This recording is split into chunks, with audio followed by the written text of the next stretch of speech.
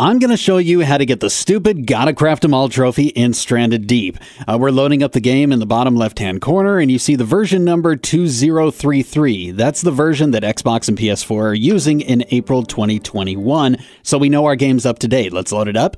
Now, I've seen lots of YouTube videos and I've been on Reddit. People are saying you got to write everything down. You got to create your own Excel spreadsheets or take screenshots of your TV with your phone every time you craft something. You don't have to do any of that. The game keeps track of everything you've crafted for you. So I'm going to show you how to do it and I don't have to build everything for you. Let's keep this video uh, short, eh? I know your time is valuable. I'm not going to waste it. So we'll open up the crafting menu and I want you to look at the stone tool icon background. It's brown and that means I've crafted it already on this playthrough. Uh, same with the kindling and the lashing and the refined knife. Now look at the fire torch background. It's gray. You see that? I haven't made it yet. So uh, let's fix that. Boom.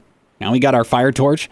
Uh, we're going to open the crafting menu again. Now the fire torch background, you see, it's brown the game keeps track of what you've crafted for you. Uh, so let's try something else, something I need on this playthrough. Uh, let's. Uh, you see the meat smoker, the hobo stove, the loom, gray backgrounds. I haven't made them yet, so let's craft the meat smoker. We got everything we need.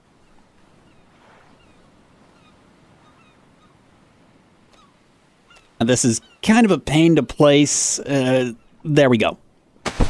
And we'll open up the crafting menu again, and we see that the meat smoker background is now brown. Don't have to craft another one for this trophy. So that's a load off. No more guesswork. Yay. So, what counts towards getting Gotta Craft 'em All to pop?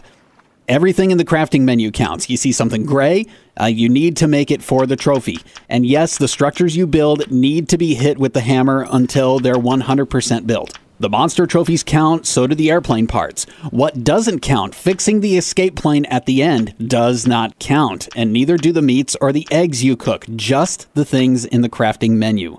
So if you see something with a gray background, you need to make it for the trophy. I'm pretty sure that you, just like me, had forgotten like one thing in the menu to get the trophy to pop, and now you know how to look for it. Now, before you close out of here to go grab your virtual bling, um, I wanted to let you know that this isn't a dedicated gaming channel. This is like the second video I've made on games. So if you subscribe, I don't guarantee more gaming content, but if you would throw a like my way, that would be cool. Thanks for watching. Yeah!